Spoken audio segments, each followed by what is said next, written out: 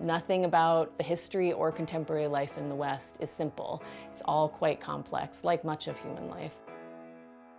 Before it was Colorado, this was Indian country, and it still is. If you want to make a difference in this world, bring Buffalo back. Instead of the women getting weak, they got strong. So my work has been about how do we make the beauty of life accessible to everyone.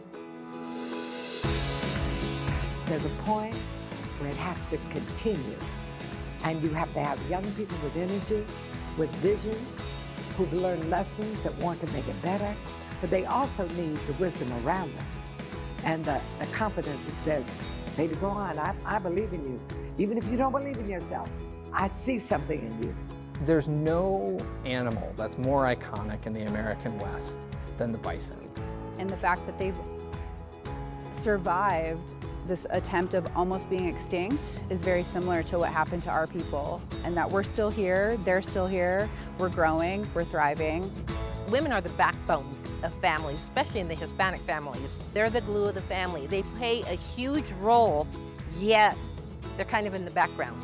What we wanted was to be able to have a living wage. The way to get that was through a union. You'd be surprised what we women can do. At camp, we do want a child's diagnosis to take a back seat to just being a kid and to put that out in the front. Kids diagnosed 20 to 50 years ago, they probably would have never been able to leave the hospital, and there absolutely was nowhere that they could have gone.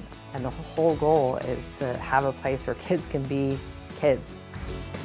There's no doubt that this part of the state of Colorado is the most polluted community, but we're pretty surprised, I guess, to be on one of the top lists for the country because it's people don't think that about Colorado. And those interstates, when they went through the cities, went through cities that tended to be um, populated by people without the political power to say no. The freeway is not here for the convenience of the neighborhood. It's here for the convenience of everybody else.